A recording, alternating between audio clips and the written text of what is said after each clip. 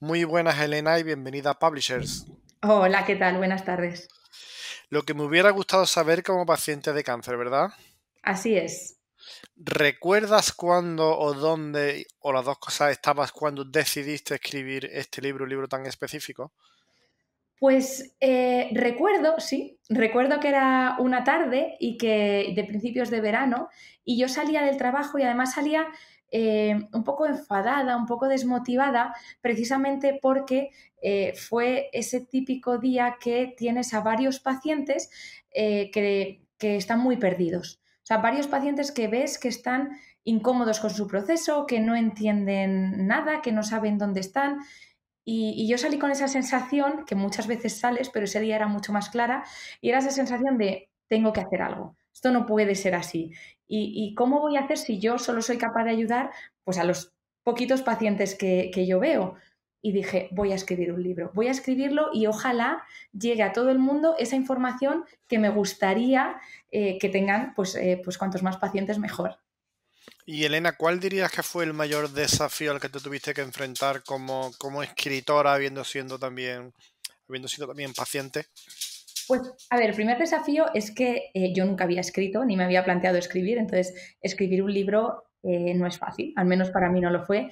Y mi mayor desafío fue encontrar la forma de explicar todo lo que quiero explicar en un libro, que se comprenda, que tenga un poco pues, pues la técnica que, que requiere un libro que es para el público y que sea capaz de resumir de una forma concisa todo lo que quiero resumir sin llegar a ser aburrido. Es decir, llegar a ese equilibrio entre, entre lo técnico y lo entretenido. ¿no? Y lo accesible, ¿no? Eso es, eso es. Yo creo que, que pude llegar a ello porque mi, mi, idea inicial era contar pues, lo que es el cáncer y lo que es el proceso la verdad es que no pensaba al principio contar parte de mi historia.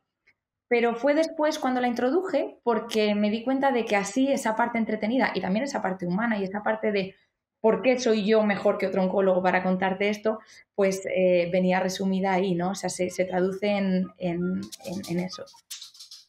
¿Y qué sentiste luego con el libro ya publicado, ¿no? A pesar de que acabas de decir que tenías este, esta, bueno, no sé si miedos o bueno, lo que siempre pasa a todo el mundo con el primer libro. ¿Cómo te sentiste al recibir el premio talento, el sello talento de la editorial? Bueno, la verdad es que fue un orgullo porque, claro, como nos pasa muchas veces a los médicos, siempre queremos hacer las cosas fenomenal, ¿no? Siempre queremos ser los mejores.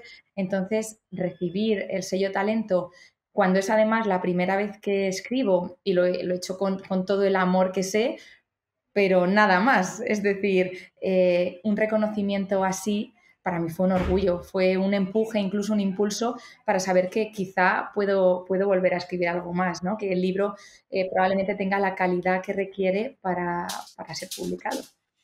¿Y qué consideras que es lo más importante que los pacientes de cáncer deberían saber cuando son diagnosticados? Bueno, yo creo que, como explico en el libro, cada proceso es diferente pero no hay duda de que si algo tienen que saber es de su propio proceso qué esperar, dónde están y, a qué, con qué pueden encontrarse. Es decir, me encuentro con muchos pacientes que dentro de su proceso no saben si el objetivo es curarse, si el objetivo es controlar la enfermedad y cronificarla. Creo que eso es lo primero que todo paciente tiene que saber de su enfermedad. ¿Dónde estamos? ¿En qué, en qué punto eh, partimos y, qué podemos esperar de este proceso mío. Creo que eso es lo que todo paciente debe conocer. Y Elena, ¿qué consejos darías para, para controlar un poco todos los, esa montaña rusa emocional de, un paciente? Bueno, eso es tan complicado que, habría un consejo para cada paciente, ¿no? Pero si puedo dar eh, un consejo es que no tengan miedo de apoyarse, además de su oncólogo, que por supuesto su familia, sus amigos, todo es su entorno, pero que no tengan miedo de ir al psicólogo o al psiconcólogo. Muchas veces da la sensación de que si uno em, tiene que buscar ayuda profesional para esa parte emocional, es que ha fracasado, es que no es suficientemente fuerte, es que no eh, es capaz él solo. Y eso no es así. Los psicólogos y los psicólogos son profesionales que están para ayudarnos en esa gestión emocional de algo tan fuerte y tan complicado como es un cáncer, que además te azota en un momento que muchas veces ni te lo esperas. Que no tengan miedo de buscar esa ayuda, que eso no les hace menos fuertes ni menos válidos. Al contrario, el ser capaz de reconocer que el camino es duro y que a lo mejor tú en ese momento no tienes las herramientas, pero vas a buscarlas, te hace todavía más fuerte.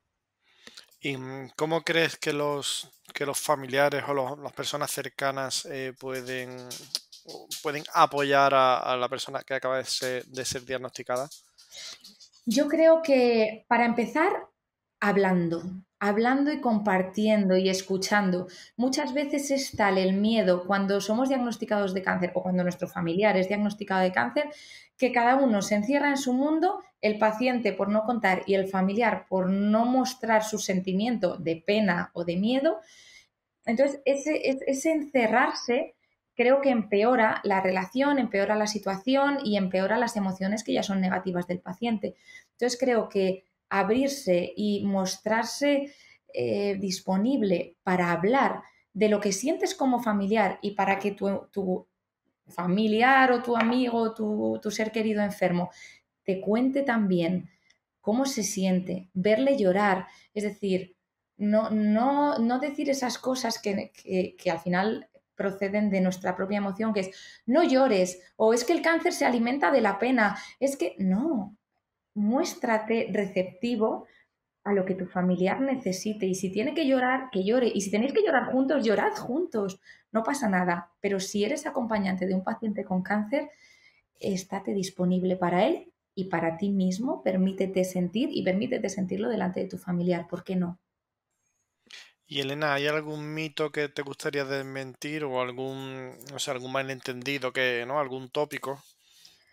Bueno, yo creo que el principal mito, porque es el que está ahora más de moda, es el del azúcar. Es decir, me encuentro en mi día a día muchos pacientes que vienen con la creencia errónea de que como el cáncer se alimenta de azúcares o de hidratos de carbono, ellos no tienen que tomar esto y así el cáncer no crecerá. Y esto no es verdad. Es decir, detrás de esta teoría es verdad que hay mucha verdad, que los tumores sí que se alimentan de hidratos de carbono, pero retirar los hidratos de carbono de nuestra dieta a día de hoy no está demostrado que sea lo que funcione para eh, parar el crecimiento del cáncer y mucho menos para curarlo. De hecho, si así fuera, los oncólogos sería lo primero que recomendaríamos, ¿no? Entonces, por favor, pido a, todos los pacientes, a todos los pacientes conciencia en este sentido y que no modifiquen la dieta sin ayuda de un nutricionista, porque acabamos en muchas desnutriciones, muchos empeoramientos en la evolución que no tendrían por qué ser si tuviéramos clara eh, la realidad y que esto es un mito. Elena, Elena ¿qué, papel cree que juegan, crees que juegan las emociones en, todo el proceso? Bueno, creo que juegan un papel importantísimo. O, la, la mentalidad. Eso es, sí, creo que la mentalidad juega un papel muy, muy importante porque el cómo nosotros nos enfrentamos a cualquier situación, incluida una situación de enfermedad, es determinante a la, hora de resolverlo o a la hora de eh, cómo evolucionamos en esa enfermedad. Ahora, no es cierto que si estamos contentos, entonces el cáncer crece menos, o que si estamos tristes o desanimados, entonces vamos a ir peor. No es así.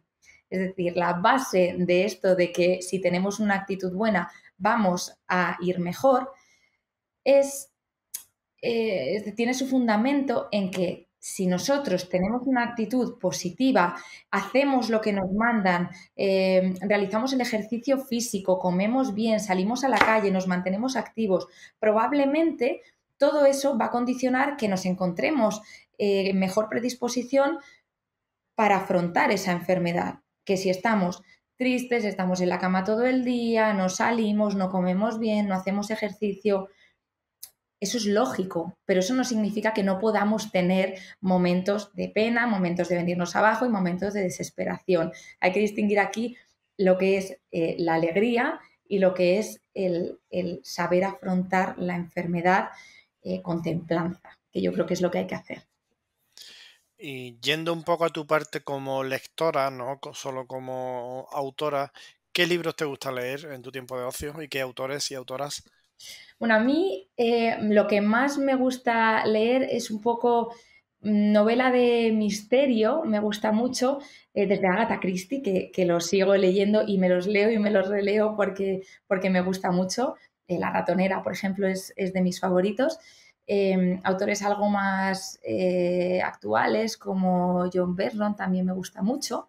pero sí que es verdad que, por ejemplo, en estos últimos dos años he entrado en un club de lectura eh, para, precisamente para abrir horizontes ¿no? y, para, y para salir de esa zona de confort y leer cosas que quizá yo en otro momento no leería, ¿no? desde poesía hasta eh, novela romántica que a veces se hace un poco más tediosa. Em, y me gusta mucho descubrir, me gusta mucho abrirme a, lecturas que, en otra ocasión pues no leería si no fuera porque tengo un club en el que luego comento. Yo creo que la lectura compartida eh, se disfruta el doble, sin duda. Entonces eh, me gusta mucho leer todo lo que, lo que, lo que me propongan. Eh, y, por ejemplo, hay un libro que es verdad que no me suele gustar leer de medicina ni divulgación de medicina porque ya tengo bastante en mi día a día, ¿no? Lo de estudiar sí, pero novelas no. Pero hay un libro que particularmente me ha gustado, dos que particularmente me han gustado últimamente, uno, no puedo evitar eh, mencionarlo, y es de Carlos González, que es Tierras Raras, que precisamente es de la editorial Caligrama y Carlos además eh, fue compañero mío de trabajo y la verdad es que cuando leí su libro, que al final es novela y, bueno, y sí que es novela de misterio en cierto modo, ¿no? Tiene este componente, me pareció excelente.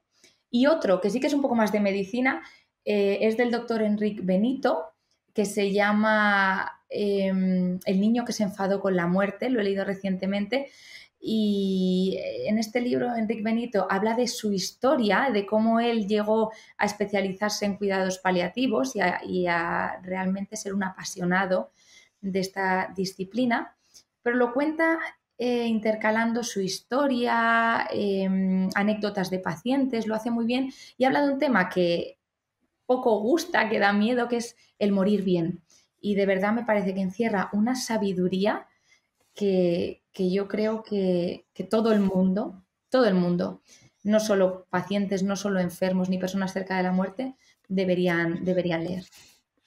Y Elena, ¿cuál es la opinión o reseña que más te ha emocionado de las que te han hecho sobre tu libro? Tanto las que te han podido hacer en persona como las que haya en internet o en redes. Pues la que más me ha emocionado fue la de una paciente que yo traté durante un periodo de hospitalización y posteriormente, bueno, pues perdimos el contacto porque no era paciente mía directa, ¿no? Pero ella leyó el libro, todavía, todavía está en proceso de enfermedad y me buscó para decirme que realmente se había sentido como si la cogiese de la mano y la acompañase por todo su entendimiento del proceso desde que inició hasta el punto en el que está ahora y me dijo más, me dijo incluso hasta el punto en el que acabe la enfermedad, sea como sea que acabe, eh, ya siento que estás, que estás conmigo, que estás de mi mano. A mí eso me emocionó. Qué bueno, pues Elena, muchísimas gracias por atender a Publishers y enhorabuena por lo que me hubiera gustado saber como paciente de cáncer, que, que no solo es un gran libro, sino que además también en parte un libro necesario. Así que nuestra enhorabuena y felicidades. Muchísimas gracias.